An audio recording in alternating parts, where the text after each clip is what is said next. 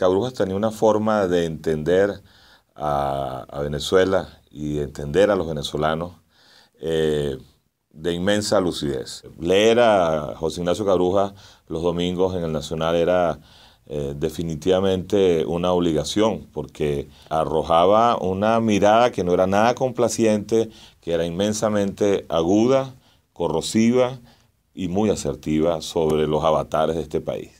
Pero creo que quizás el legado de José Ignacio es muchísimo más amplio.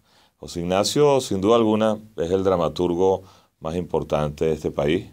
Obras como Acto Cultural o El Día que Me Quieras o El Americano Ilustrado o Profundo son eh, eh, referentes, eh, porque además son obras que igualmente sabían desentrañar las claves de la venezolanidad.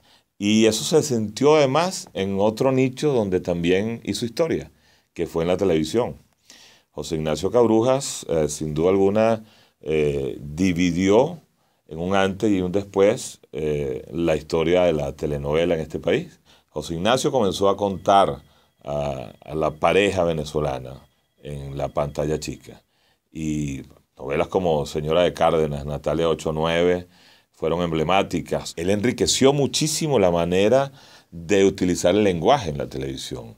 Hizo que los personajes de ficción hablaran con inteligencia, con brillo en los diálogos, es decir, los diálogos cabrujianos eh, no tienen comparación. Uno siempre escuchaba a un personaje hablando y decía, ese es un diálogo de cabrujas, tanto en el teatro como en la televisión.